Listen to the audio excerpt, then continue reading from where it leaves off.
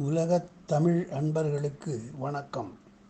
நாளும் ஒரு தமிழ்ச்சொல் என்னும் தொடரில் இன்று இனியவை கூறல் என்னும் சொல்லைப் பற்றி காண்போம்.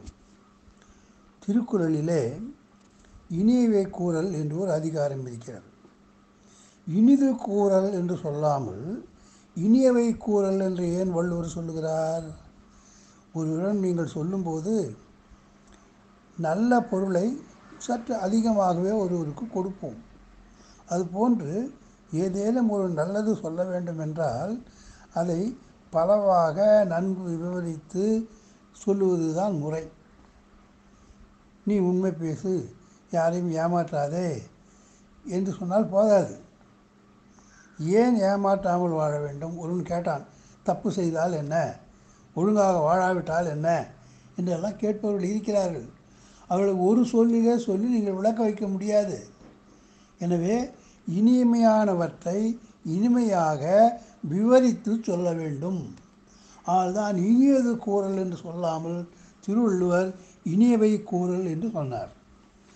இனியவை கூறல் என்பது இன்சொல் தானே? யாராவது வீட்டுக்கு வருகிறார்கள் வாங்க வாங்க உட்காருங்க என்று சொன்னால் போதாதா? அதை வள்ளுவர் ஏற்றுக்கொள்ளவில்லை. இன்சொல் என்றால் என்ன என்ற இலக்கணம் சொல்கிறார். இன்சொலால் ஈரம் அலை படிரிலவாம் செம்பொருள் கண்டார் வாய்ச்சொல். இன் இனிவை கூறல் இன்சொல் சொல்வதில் என்ன என்றால் இன்சொலால் ஈரம் அலை ஒரு பலாச்சுளை உங்கள் கையிலே கொடுக்கிறார்கள். அந்த பலாப்பழத்தை தேனிலே தொட்டு செல்கிறீர்கள். ஏன்? இனிமைக்கு இனிமை சேர்க்கிறீர்கள். அதுபோல இன்சொ நீங்கள் பேசுகின்ற தமிழ் சொல்லுக்கு மேலும் இனிமை சேருங்கள். மேலும் மேலும் இனிமை சொத்து பேசுங்கள். வீட்டுக்கு வருகின்ற விருந்தினரை வாங்க உட்காருங்க என்று சொல்லாமல் வாங்க வாங்க வாங்க உட்காருங்க வாங்க வாங்க வாங்க என்று மிக அன்போடு அழைக்கும்போது அந்த வருகின்ற விருந்தினர் மகிழ்கிறார். எனவே இன்சொல்லை நீங்கள் எப்படி சொன்னால் அது இனிமையாக இருக்கும். அதிலே அன்பு கலந்து இருக்க வேண்டும். வாங்க உட்காருங்க என்று சொல்வதை விட வாங்க வாங்க வாங்க வாங்க என்று சொல்லும்போது அதில் அன்பு மிகுகிறது. இன்சொல்லுக்கு நீங்கள் இனிமையை சேர்த்திருக்கிறீர்கள். இப்படி நான் சொன்னால் போதுமா என்று வள்ளுவரை கேட்டால் போதாதுங்கிறார். இன்சொலால் ஈரம் அலையினர். அளவுக்கு மீறிய பாச உணர்வதில் கலந்தீர்களான்னு கேட்குறாரு வாங்க வாங்க வாங்க என்பது அன்பை மேற்படுத்துகிறது. நீங்கள் இதே ஒரு எதிர்பார்த்து கூட அவரை நீங்கள் வாங்க வாங்க என்று அன்பு சொல்லலாம் அல்லவா? எதையும் எதிர்பாராமல் வெறும் உள்ளூர இருக்கின்ற ஒரு உயர் உள்- உள்ளுக்குள்ளே உவந்து சுரக்கின்ற அந்த பாச சுரப்பு பாச ஊற்று வெளிப்பட வேண்டும். அப்படி உங்களால் பேச முடியுமான்னு கேட்குறாரு. இன்சொல்லுக்கு மேலும் மேலும் இனிமை சேர்த்து அதில் மிகுந்த ஈவும் இரக்கமும் கருணையும் உள்ளூர பாசமும் காட்டி உங்களால் பேச முடியுமா? அப்படி ஒரு திரைப்படத்தில் ஒரு நடிகனை நடிக்க வைக்க முடியுமா என்று வள்ளுவர் கேட்கிறார். இந்த சொல்லுக்கு நம்மால் விளக்கம் சரியாக சொல்ல முடியவில்லை. இன்சொலால் ஈரம் அலை. ஈரம் என்பது பாச உணர்வு அதில் கலந்திருக்க வேண்டும். படிநிலவாம் அதில் குற்றம் இல்லாமல் இருக்க வேண்டும். சில பேர் மந்தரை வந்து கையையின் மனத்தை மாற்றினாள். அவளை எவ்வளோ பாசமாக பேசினாள் தெரியுமா? நீயும் ஒரு அரசியின் மகள் தானே நீ என்ன பாவம் செய்தாய்?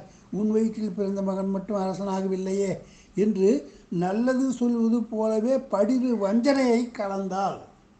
எனவே நம்மிடம் ஈரத்தோடு அன்போடு மனம் உருகுமாறு இனிமையாக பேசுபவர்கள் கூட வஞ்சனை கொண்டவர்களாக இருக்கலாம்.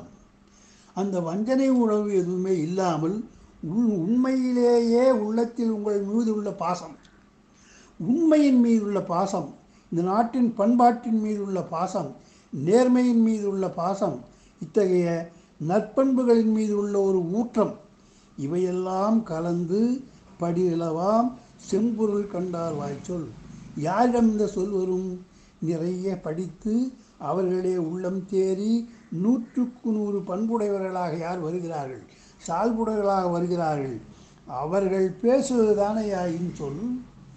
திரு இந்த திருக்குறளிலே பண்புடைமை என்ற அதிகாரத்துக்கு நூறாவது அதிகாரத்துக்கு அந்த தலைப்பு கொடுத்திருக்கிறார். அவன்தான் மிகச் சிறந்தவன் மிகுந்த நம்மீது அன்புடையவர்கள் நேர்மையானவர்கள் நல்லவர்கள். அவர்கள் வாயிலே வருகின்ற சொல் தாயின் வாயிலே வருகின்ற ஒரு இன்சொல் குழந்தையை மகிழ்விக்கிறது. அது எதிர்பார்த்தா வருகிறது. இயல்பாக ஊறுகின்ற ஊற்றின் அடையாளமாகவே குழந்தையை தாய் கொஞ்சுகிறாள். அப்படி இன்சொலால் ஈரம் அலைந்து வந்தால்தான் இனிவை கூறல். அப்படித்தான் இலக்கியத்தில் மேற்கோள் இருக்கிறதா எனக்கு தெரியவே இல்லை.